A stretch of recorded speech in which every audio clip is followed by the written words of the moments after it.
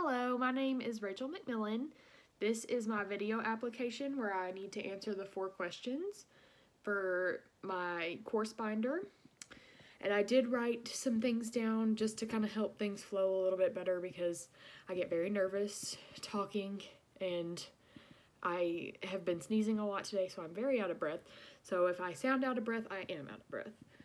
But the first question is why did you decide to become a teacher? And honestly, I feel like I've always had a big heart for helping people.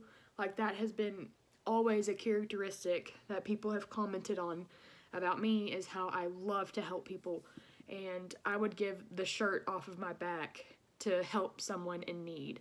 And that's how I've always been ever since I was a little girl.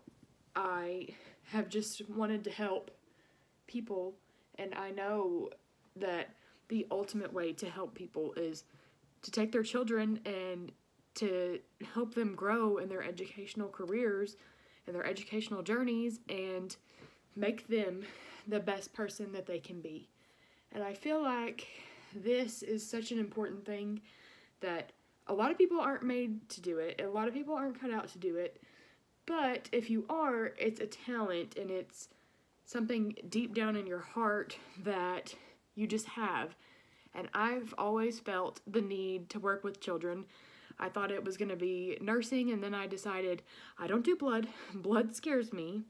And I was like, so let's rewind and let's see what we need to do because I want to help kids. This is what I want to do. And all my life, I've had people talk about teachers don't make any money, teachers do so much work, they're underappreciated. But the more I've soul searched about it, the more I've discovered that that stuff doesn't matter. What matters is how much I want to help these children and how much I want for them to be successful in life. So I feel like to become a teacher means to be caring and to be helpful and patient. And I feel like that's all characteristics that I have and that I want to bring into the educational field. And to be able to do this, to be able to even apply for this program, is so awesome. And I'm gonna go on to the next question before I start crying because I will. I'm pregnant and I'm very hormonal. So, next question. Describe the biggest challenge you think you might face as a teacher. And honestly, I feel like the biggest challenge is going to be self doubt because ever since I was little, I was really overweight. I was made fun of. I was I just never fit in, and that I think that's what helped build me into the person I am today.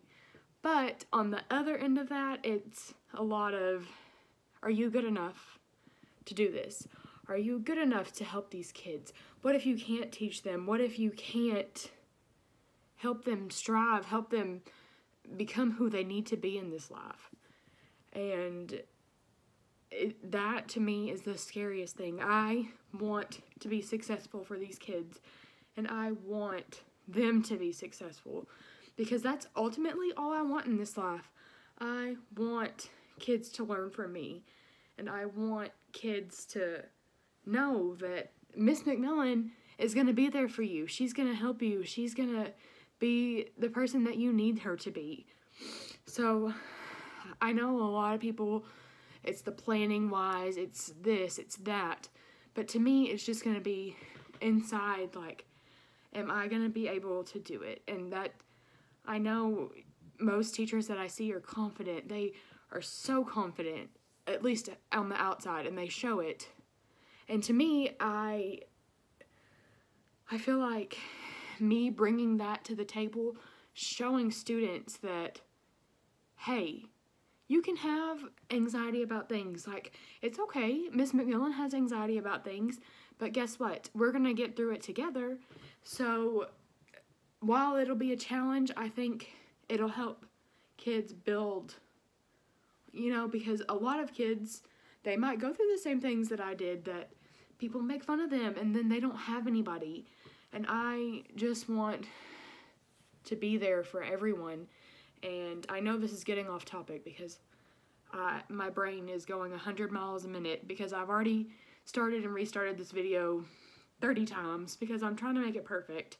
But I'm here to show you that I'm not perfect. Uh, none of this is going to be perfect. I've learned that this journey is not perfect, but it is my journey, and that's another thing. I mean, it's that's the challenge is you want to be perfect and nobody's perfect. So a lot of this self-doubt I know will go away with time. I know that working with kids just because I really haven't done it, especially with the COVID going on, I can't go to classrooms, I can't be around them the way I want to. So I know it'll come with time. That's what everyone says, it comes with time. But for now, that's my biggest challenge is just worrying about will I be successful? Will I be able to teach these kids? Will I be able to give them everything that they need? Okay, so question number three What strengths do you possess that will help you become a successful teacher? And ultimately, I think a successful teacher is somebody who is caring, who is patient, who is loving, and who wants to help kids. And I see a lot of people that, like, people that I know that become teachers that they don't care for kids. Like, I don't, I really do not think that you can be a successful teacher and not care about kids. You have to have the heart for it.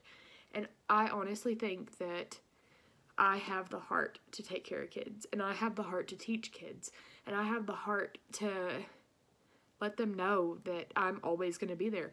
If you have any doubts, I'll be there.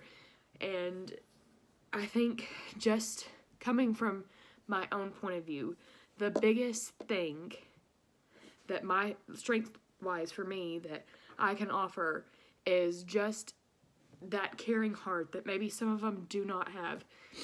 And I know that the caring heart can probably go into a challenge too because it'll be hard for me at first to discipline and especially the kids that you know don't have what I had growing up the every advantage that they could have and I know that I'll have kids like that but I also know that strengths wise I will be able to be there for them emotionally because I do have a loving heart and I do I try to shower people with kindness. I don't want to be negative. I don't try to be negative. And I think that is what a successful teacher does. They make sure that, you know, everything is taken care of, everyone's taken care of. And it's just, I, I want to be successful in it. And I think that having that kind heart having the patience, wanting to help. I think all of those are factors in being a successful teacher. And so finally, question number four. Hopefully this video is not 15 minutes long because I feel like it will be. Uh, how could you encourage students to be lifelong learners?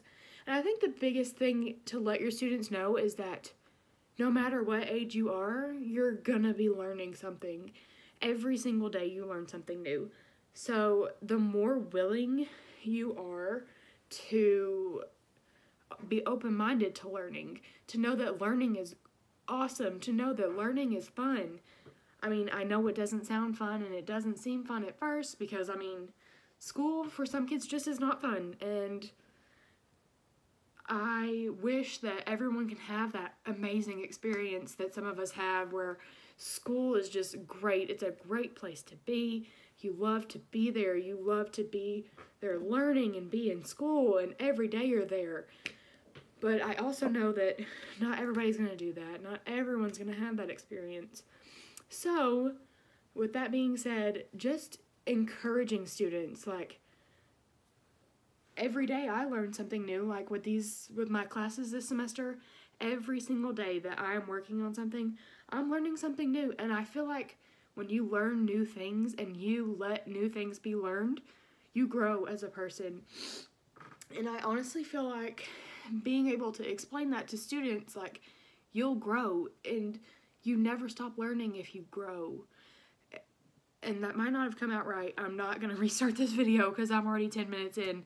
But just letting them know that learning is everything and that the day you stop learning is just the day that I mean, I feel like the day you stop learning is the day you die, honestly, because every day is something new and I feel like it's important for students to know that and it's important for us to instill that in them that every day we need to learn something and we need to be open-minded to learning because learning is a good thing and being able to learn is one of the best things we can do and being open-minded to learn is even better. So I know a lot of this was probably me rambling because I'm nervous and I'm trying not to ramble but I can't help it. I just get very nervous and so I want to thank everyone that's going to watch this video. Hopefully none of my friends look it up because I will be very embarrassed. But I want to thank everyone that watched this video that runs the teaching program at Commerce because they, especially through this COVID nonsense, are doing an amazing job. And I feel like every day is just a blessing to be a part of this. And you're really making dreams come true, especially for people like me who have wanted to be a teacher for as long as they can remember. So, again, thank you very much, and I hope you enjoy this outrageously long video of me.